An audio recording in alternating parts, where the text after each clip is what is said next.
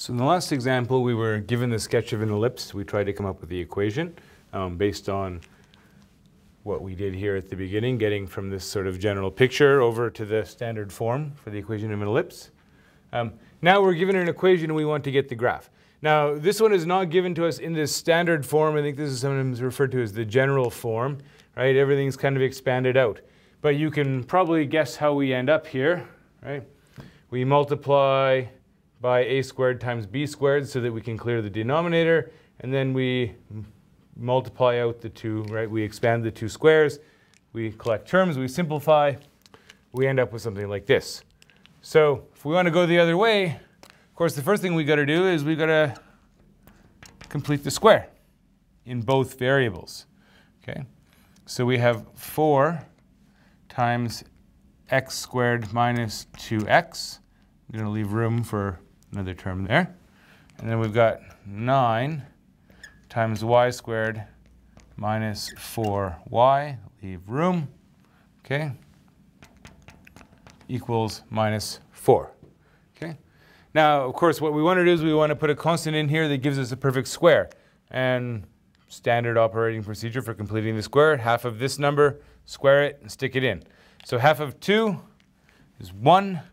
1 squared gives 1, right?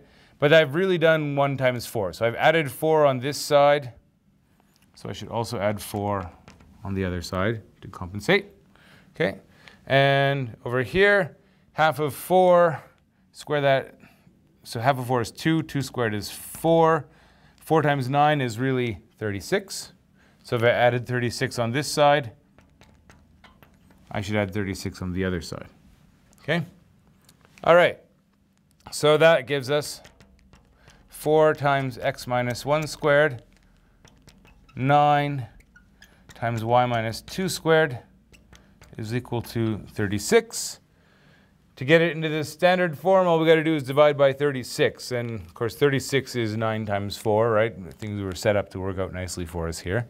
So we get x minus 1 squared so 4 over 36 gives us 9, which is 3 squared. Y minus 2 squared. So 9 over 36 is a quarter. So we have 4 on the bottom, which is 2 squared. That should be equal to 1. Okay. So far, so good. Now we're ready to sketch our ellipse. So what do we know? We know that the center is at the point 1, 2. There's our center. Um, we know that A is equal to 3. So we go 1, 2, 3. 1, 2, 3. We get those two points. So that's going to be at 4, 2. Over here at minus 2, 2. B is equal to 2, so we can go up 1, 2. Get to there. 1, 4. We can go down 2, right? 1, 0. Okay, so there are the four vertices of the ellipse. And now we kind of connect the dots. Okay, so there's my ellipse.